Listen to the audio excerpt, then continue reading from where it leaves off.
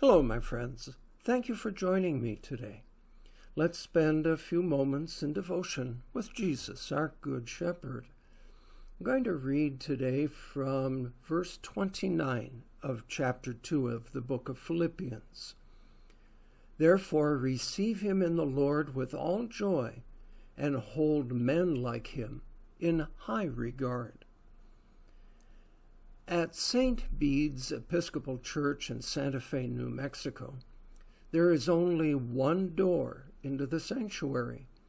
Over that door is a hand lettered sign that reads, Servants' Entrance. There isn't any way in or out of that church except through the servants' entrance.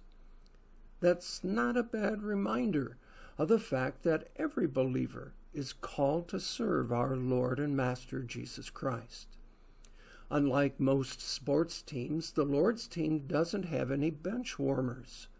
Every Christian is given a first string spot on the team with a vital role to fulfill a non serving Christian is a contradiction in terms. Paul hoped to send both Tim- Timothy and Epaphroditus to them. They were loyal friends of Paul and servants of Christ. He instructs the church to receive them both in joy for Christ's sake. There are those within our congregations who are like Timothy and Epaphroditus. It might be your pastor his wife, an elder, or just a member who is always encouraging and supportive. Receive them with honor. Lift them up in your prayers. Let them know how much they mean to you. Timothy's and Epaphroditus's dedication to the work of Jesus is a good example for us. We demonstrate our commitment to Christ by placing His interests above our own. We dedicate ourselves to help build up His kingdom by using the opportunities to serve our Lord and His church.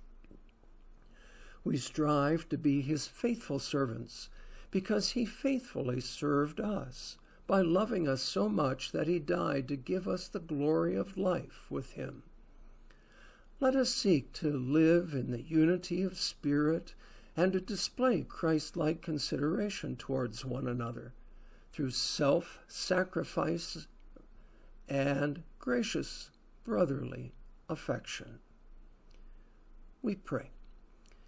Heavenly Father, we thank you for the examples of Paul, Timothy, and Epaphroditus whose joys were spent in self sacrificial service to others for the glory of God.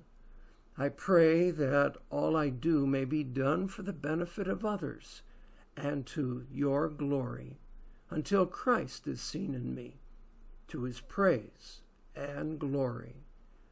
Amen.